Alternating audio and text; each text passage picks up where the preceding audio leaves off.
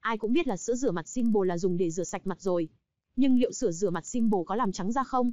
Trong video này, shop giúp bạn trẻ đẹp, bên mình sẽ nói rõ hơn về những công dụng khác của sữa rửa mặt Simple, đặc biệt là công dụng làm trắng da có thật sự tốt như lời đồn không nhé. Bên mình là shop bán hàng, nên có được cực kỳ nhiều thông tin phản hồi từ khách hàng, nên bên mình sẽ biết và tư vấn chính xác là bạn nên dùng sản phẩm nào sẽ phù hợp với da của bạn hơn, để bạn không tốn tiền mua thử hết sản phẩm này sang sản phẩm khác.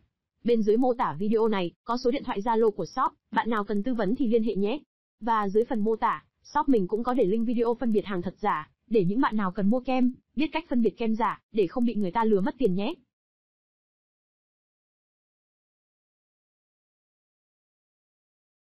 Thường thì nhắc đến sữa rửa mặt chúng ta chỉ nghĩ đến sữa rửa mặt dùng để làm sạch da mặt, chứ không ai nghĩ đến dưỡng trắng da hay ngăn ngừa mụn, nên khi nhắc đến một loại sữa rửa mặt thì nhiều người sẽ không nghĩ ngay đến sữa rửa mặt có khả năng làm trắng da.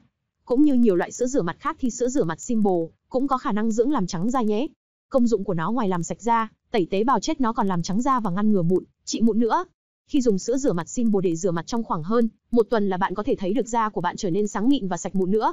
Tuy nhiên thì sữa rửa mặt nào nó cũng chỉ dưỡng trắng da đến một mức độ nào đó, thôi nên nếu bạn muốn da trắng nhanh hơn, đẹp hơn nữa thì bạn cũng nên dùng thêm các kem dưỡng chăm sóc da khác để da đẹp hoàn hảo hơn. Bạn cũng không nên quá lạm dụng hoặc muốn trắng nhanh mà rửa sữa rửa mặt Simple này quá nhiều lần trong ngày. Một ngày rửa 2-3 lần là được rồi.